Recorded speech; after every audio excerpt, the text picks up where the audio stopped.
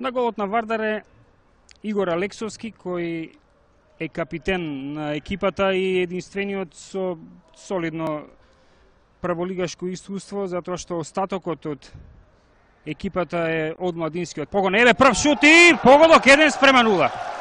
Неверојатно каков гол, како воопшто дозволи екипата на Силекс да прими ваков гол. Не фати на претек и нас оваа ситуација затоа што сметаа дека ја имаат под контрола, а всушност големо невнимание на голманот Милан Митровиќ. Да избие, меѓутоа беше прекратка, искористи по